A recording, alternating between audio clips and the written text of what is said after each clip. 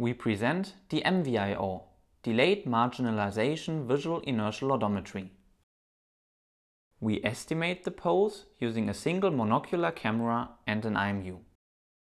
Here we show results on the TUMVI slides 1 sequence.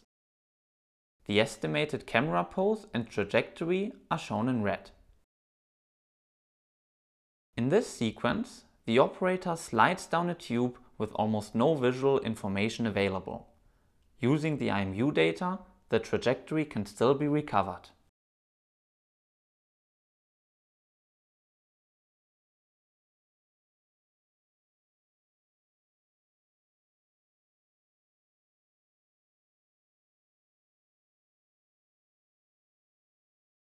At the end of this challenging sequence there's almost no drift.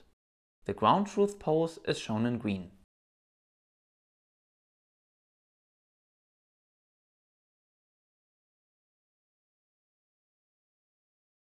We also evaluate our method on the Four Seasons dataset.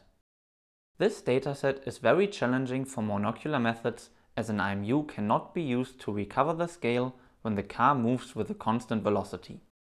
But thanks to our novel IMU initializer based on delayed marginalization, the method still works well and even outperforms stereo inertial methods.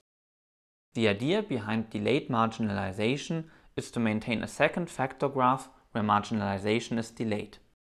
We can inject IMU data for previous states into this delayed graph, which we use for IMU initialization.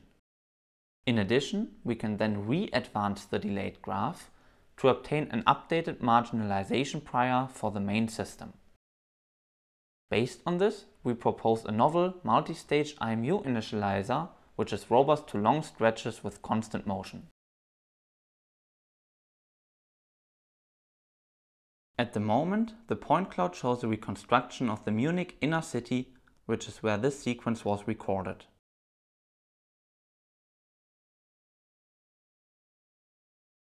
In the end, the car will return to the start and you will be able to observe the accumulated drift. The full source code for our approach will be published soon. For more information, please visit our webpage.